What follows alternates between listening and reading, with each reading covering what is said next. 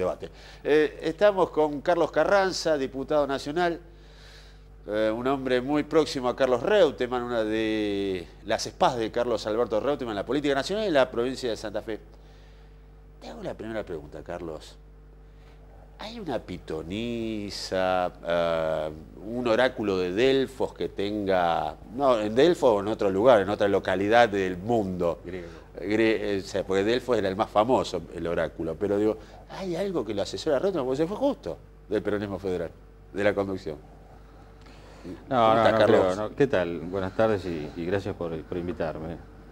Eh, creo que hay una percepción de, lo que está pensando la gente, fundamentalmente después de un hecho trágico, que fue la, muerte del expresidente Néstor Kirchner, y que no, no creo que haya, eh, necesidad de, acudir a tanta, digamos, este, literatura o mitología eh, griega, porque en realidad es lo que está pensando mucha gente. Creo que nos habíamos acostumbrado, quizás quienes estamos este, dentro del peronismo opositor, a una dialéctica de amigo-enemigo.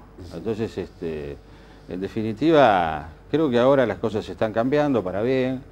Creo que lo que estamos proponiendo también es un diálogo, diálogo que no, lo vemos todavía, pero creo que hay este, elementos suficientes como para considerar que en un año importante para la Argentina, como va a ser el año que viene, un año que se deciden cosas, donde el clima normalmente electoral suele, eh, bueno, eh, hay, muchas tensiones, creo que lo que advierte Carlos Reutemann no es más ni menos que lo que creo que quiere gran parte de la sociedad argentina. Un clima de paz, de tranquilidad, y desde ese punto de vista él es un hombre con un perfil muy, bueno, no solo austero, sino también eh, con una gran percepción. Reutemann es una persona que escucha mucho, habla poco, eso es cierto, no lo digo yo, lo dice, lo dice que todo, con Grecia, lo dice Laconia. pero lo dice todo el mundo. Yo lo que quiero decir también es que escucha mucho, es un hombre que aprende de, lo que dice la gente, es un hombre de campo, es un hombre eh, muy receptivo, perceptivo, de manera que yo creo que no, no hay más que acudir, incluso por ahí lo dicen las encuestas también, no es necesario este, también tener este, buena imaginación. Creo que eh, necesitamos un clima distinto y él, es uno de los hombres que dentro del peronismo está planteando otra lógica de discusión. Eh, yo estuve revisando y no encontré alguna palabra agraviante del fallecido Néstor Kirchner, agraviante hacia Carlos Reutemann, no recuerdo, a lo mejor vos me corregirás, o una palabra agraviante a la persona de Kirchner por parte de Reutemann. ¿Me falla la memoria? No, no, en absoluto. absoluto es así. Lo ha agraviado mucho más Dualde a Reutemann que Kirchner. No, no, eh, realmente, ha sido mucho más agresivo. Tenían, eh, tenían muy buena relación. Este, personal. Personal. Kirchner y Reutemann. Y, y, tiene muy buena relación con Cristina. Reutemann es un hombre que ha compartido, bueno, no, no solo largas sesiones en el Senado, sino gran parte de, la, de los dos periodos que fue senadora Cristina. Hay un respeto este, allí. Mutuo, y además este, eh, él, ha ido a, la Casa Rosada solo el día del velatorio y bueno, sin duda lo, dejó eh, este, de algún modo muy perplejo por, la sorpresa nada más, pero creo que, también habla de que es un hombre muy respetuoso de la, de la senadora y hoy presidenta de los argentinos y a mí me consta que es mutuo el respeto de Cristina hacia... Por eso te digo, o sea, más allá de todo, los análisis políticos, a ver, está la 125 que fue un punto bisagra, pero eh, Dualde ha sido más agraviante hacia Reutemann que el propio kirchnerismo en la persona. Bueno, sí, no, no, tampoco... Eh, yo creo a ver, hoy dice la costumbre abandonada. Bueno, pero hoy lo acaba de, de aclarar... le dijo forro de ensayo. Sí, lo acaba de aclarar esta mañana en un programa de radio, que no, no fue tan así. Bueno... Eh, obviamente, tiene muchos amigos y, no, y de los otros, o sea que, no, todos hablan bien de él. De hecho, eh, hay, dirigentes que, bueno, han tenido palabras, como usted bien dice, no solo de extrapartidarios, o sea, de otros partidos, sino también del peronismo.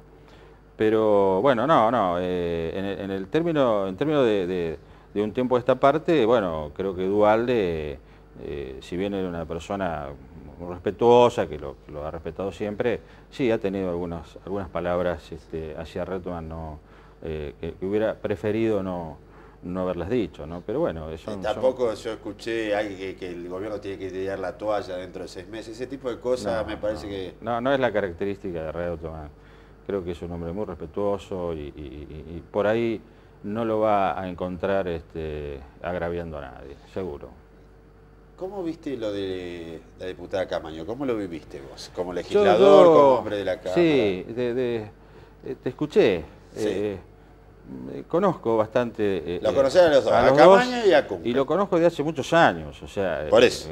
yo no, no te quiero hablar... De, no, pero de, tu visión más allá de lo, Yo te condiciono lo mejor que en el editorial. No, al contrario, creo que, que, viene bien este, este tipo de opiniones así porque la gente tiene que tomar una, una verdadera impresión de lo que de lo que ocurrió. Son dos personas de un carácter fuerte, Sin duda. muy fuerte. Creo que este, tanto Carlos Kunkel como, como Graciela eh, no son personas de dejarse llevar en los debates y, evidentemente tienen un altísimo perfil, tanto en el recinto como en las comisiones.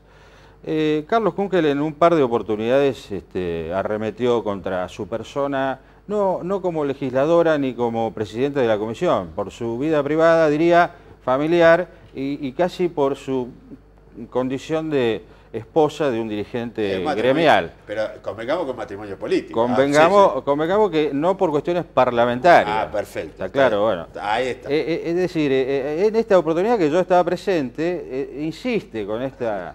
Porque, a ver, no es agraviante ¿Pero qué le dice? Bueno, va a hablar la señora de Luis Barrio Nuevo. Y es la señora de Luis Barrio Nuevo, nadie, nadie puede ignorarlo. Es, más, ella dice, sí señor, yo soy la señora de Luis Nuevo. Y ese tipo de cosas, al cabo de varias sesiones y de varias reuniones, evidentemente en algún momento, bueno, creo que ahora la última vez ya incurrieron en otro tipo de, de discusiones un poco más subidas de tono, respecto siempre de la vida del esposo, ¿eh? no, no de la cuestión de... Estábamos discutiendo si se había logrado identificar a alguna persona que sobornara a otro este, en una sesión del presupuesto nacional. Estamos discutiendo, digamos, cuestiones de privilegio, tema, pero por ese tema, pero una, altura en el debate. Cuando, cuando se incorporan cosas extra parlamentarias, yo no la quiero justificar a Graciela, que la verdad que es una excelente legisladora, eh, tanto como, como Carlos, pero evidentemente las cosas llegaron a un punto, la relación personal está muy deteriorada. Bueno, eh, creo que evidentemente eh, el Parlamento argentino tiene que, tomar este, otro nivel, otra altura, el debate. Ahora, reitero lo que dije antes, el diálogo es necesario. La negociación política es la base de, la democracia, de la política y sobre todo en el Parlamento. Quienes no estamos en el oficialismo, podemos decirlo con toda eh, claridad, no hemos logrado sentarnos nunca a decir, bueno, che, esto, eh, Santa Fe necesita esto, ¿por qué no vemos aquello? Eh, ¿No les parece esto, el presupuesto? O cualquier otra ley. No hemos logrado. Hay, hay, una, hay una sistemática política de, unilateralismo en, en la decisión política y evidentemente creo que después del 28 de junio, donde cambian las mayorías, no cambian mucho. cambian, cambian. El 28 de junio de 2009 para eh, fue cuando eh, ganó la oposición. Cuando gana la oposición. En la Cámara de, Diputados se ve un poco más, son 10 o 15 diputados más de todo el arco opositor junto, estamos hablando. La Cámara de Senadores está muy parejo. Pero evidentemente si no hay diálogo, y no quiero justificar a nadie, las cosas se canalizan a través de los medios, o de algún insulto que a veces termina como termina. Así que... Eh, a mí lo que me preocupa es, ¿cómo le explico yo a mi hijo? Eh, che, anda a la escuela. Está bien. Anda a la escuela, portate bien. a esta señora de a ver, yo te digo como televidente. yo, a veces, yo he ido a la cancha, juego al fútbol, se me ha salido la cadena. Me he agarrado a bollos jugando al fútbol. Estamos en un caso... Eh, eh, pero acá esto es el Parlamento. No, no es el Parlamento. el Parlamento. bueno, el Parlamento, el parlare es también este, debatir. Y debatir con, niveles, digamos, de decir, bueno, en estas cosas este, el Ejecutivo puede ceder o no, o nosotros podemos ceder o no. Nosotros, no somos el dueño de la verdad, ni el, ni el 100%, pero de lo poco que tenemos, el 10, el 20% de nuestra verdad está arriba de la pero mesa. Carlos, yo los veo a ustedes veo al peronismo disidente, opositor santafesino, lo veo en una tercera posición. Sí, sí, eso sí. No lo veo, o sea, no van a... No, es así, eh, es así. No lo veo acercándose al oficialismo, pero tampoco la gurcada de, la oposición. Absolutamente. No, sé de qué se trata, pero me opongo. Eso me parece que el espíritu... No, no, no, pero que además este, hay, hay gobernadores como, o ex gobernadores como, como Jorge Obey, ex ministros, Daniel Germano, este, digamos, eh, eh, Celia Arena, Walter Agosto, Juan Carlos Forconis, hombres que, hemos estado en la función pública, en la política. Eh, yo no creo que sea blanco-negro, la política no es tan maniquea, yo creo que... Ah, está Carrió, yo digo, no, no, Carrió, no, no, Carrió en una punta, el cuadrilátero. Absolutamente no. El oficialismo que defiende su gestión y están, a ver, eh, el propio Alfonsín. Al propio Alfonsín se lo veo en una misma línea similar a la de Bueno, empecemos a charlar. Empecemos a charlar. Empecemos a charlar. Yo creo que el país necesita, este, la economía va bien, ¿estamos? ¿Coincidimos? Perfecto. Hay este, indicadores internacionales, eh, la inflación es un tema que los argentinos estamos acostumbrados, la podemos controlar, hay que tener una política antiinflacionaria y con los gremios que evidentemente están ayudando. Yo creo que hay que darle un toque de, mayor calidad institucional y obviamente esto no quiere decir de que los, legisladores este, seamos mejores que Camaño, mejores que Carrió o mejores que Kunkel. Yo creo que en el nivel de institucionalidad en el cual uno pretende que se respete a la Corte, a las provincias, porque estamos en el peronismo federal, y, un poco ese es el reclamo, es decir, bueno, es necesario que tengamos que en un artículo del presupuesto abajo, dice, bueno, todas estas partidas que uno asigna a salud, educación, seguridad, después yo las puedo modificar como quiera. Bueno, vamos a hacer una cosa, déjenle también a las provincias este, un margen. Un margen. Y eh, esto, esto, esto es algo importante para el federalismo. Eh, hay países en los cuales la decisión de los gobernadores y de los gobiernos de cada provincia son fundamentales. Eso hace, me parece, a una nueva relación eh, entre las provincias y el, el poder central. Y además yo creo que este, con el paso del tiempo eh, también podemos aportar. Hoy estamos en la oposición, pero estamos en el peronismo. Bien, por eso te este, digo, eh, nos queda un minuto y te quería hacer una pregunta en ese sentido. Estamos en el peronismo. Eh, hoy una reunión del PJ y... ¿Va a ir unificado el peronismo santafesino a la elección de gobernador del año 2011? De nuestra parte de nuestro sector... Reutemann quiere que vaya unificado. Quiere que nosotros, y obviamente hoy creo que el partido ha avanzado en algunos de estos aspectos, que estas diferencias que podamos llegar a tener se diriman en una primaria, como es el sistema electoral, del cual unificado no quiere decir que vayamos en la misma lista. No, no, no, por supuesto. Terminaremos en una lista como fue el, año pasado, eh, en las elecciones provinciales y municipales.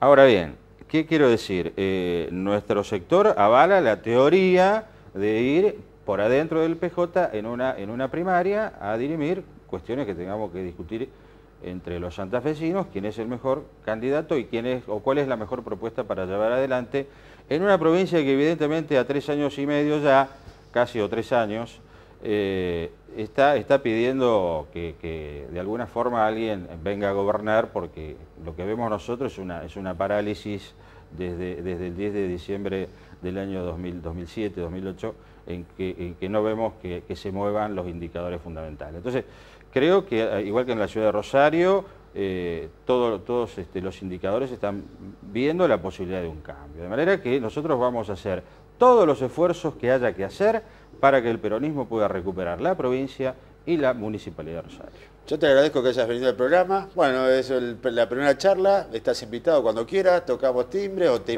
llamo yo y te Al teléfono. Muchas gracias. Bueno, Muy amable. Eh, terminó este primer bloque. ahora vamos a estar en el próximo con el jefe de bancada del peronismo kirchnerista en la Cámara de Diputados de la provincia de Santa Fe, que nos va a dar su visión sobre el presupuesto 2011 en el territorio santafesino.